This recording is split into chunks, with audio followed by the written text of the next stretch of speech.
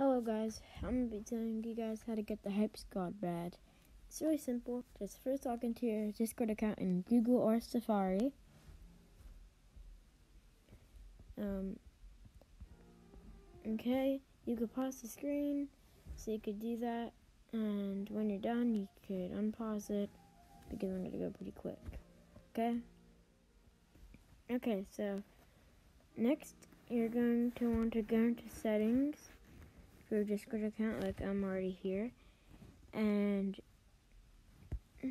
you're gonna want to go down all the way down until you see Hype Squad, and it might if it might not it might say that you have to like um, be verified for Discord.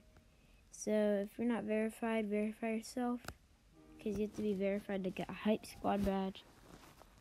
And yeah, so go down here, get your account verified, and yeah, you can pause the video and do the next step.